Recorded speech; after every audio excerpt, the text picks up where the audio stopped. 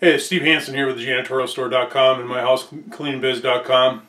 So yeah, I want to do a video uh, about uh, getting the right information when you're trying to price an account. On my whiteboard here, what I have is uh, I have some numbers, and I know this type of video is really boring when you start talking about numbers, but it's really important for us to understand our numbers and to understand how we're getting them. So that's why I'm going to do this here, uh, this video. And um, I had a discussion with a person uh, on our chat. In fact, uh, you know, if you go to our website, we've got a, we've got a chat feature. Uh, this person here uh, got on the chat and they were asking me about what I would price a 37,000 square foot building that's being cleaned three days a week. How much would I price that for?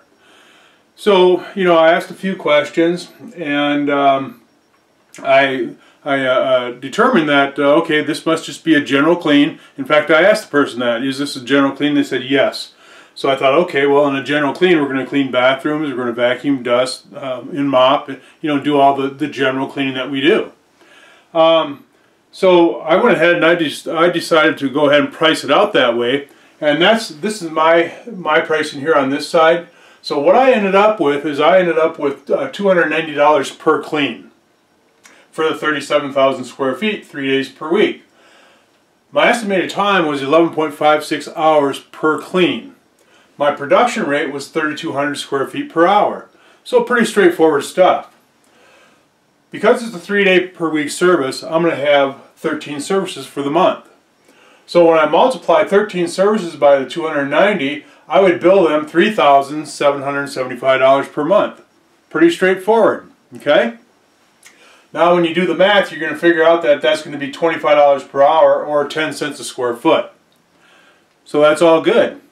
Now on this side, this here was the, the person that I was having the conversation with. They told me that they're billing $180 uh, per clean.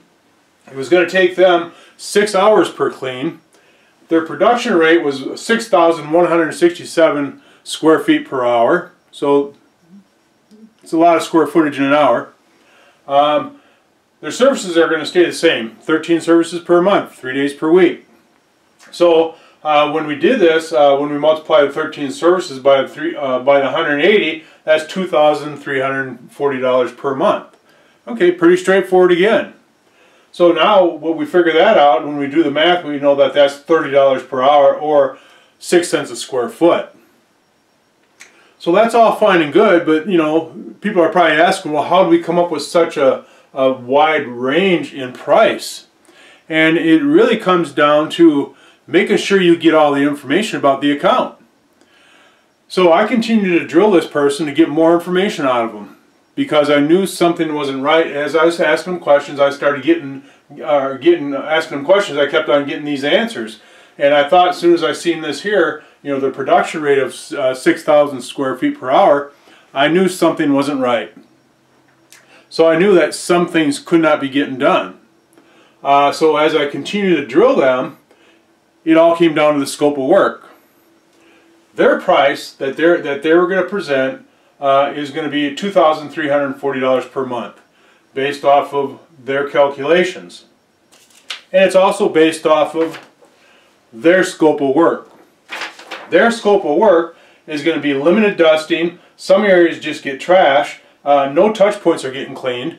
Uh, and, you know, so that's a lot of stuff that's not getting cleaned. No wonder they can do 6,000 square feet per hour. So you have to really drill down on that on the scope of work. When you look at mine, mine again, remember I said that it was based off a general clean. My scope of work is based off a general clean. That's what my price is based off of. So I will be I will be sweeping, mopping, dusting, cleaning restrooms. I'll be cleaning touch points. Uh, you know, I'll be doing all the things that we should be doing. That's why my price is $3,775 per, per month. That's why it's going to take me 11.56 hours per clean. Because my scope of work is more detailed. Uh, the customer is getting more, but they're also paying more. So the, the whole point to this video is that you have to make sure that you gather all the information. If you don't gather all the information, you may end up with a scenario like this here where you're going to price way too high without knowing exactly what the scope of work is. Very important. We have to know what the scope of work is to determine what our production rate might be.